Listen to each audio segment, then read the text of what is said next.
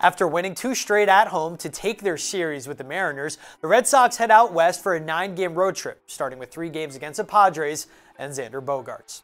Both the Red Sox and Padres have been a surprise this season, the Sox with their new look lineup exceeding all expectations, while San Diego has lost seven of their last eight games and are 20 and 24 on the season, but still with championship aspirations.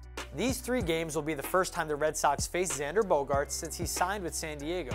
X is leading his new team in runs and hits, but has been hitting just 208 in the month of May. The Padres may also be without Manny Machado in this series as he has a small fracture in his left hand. The Sox rotation will see James Paxton starting game 1, Chris Sale game 2, and Corey Kluber in game 3. First pitch of the series is Friday night at 9:40 Eastern Time with full coverage right here on NESN. PNC Bank, helping to make banking easier.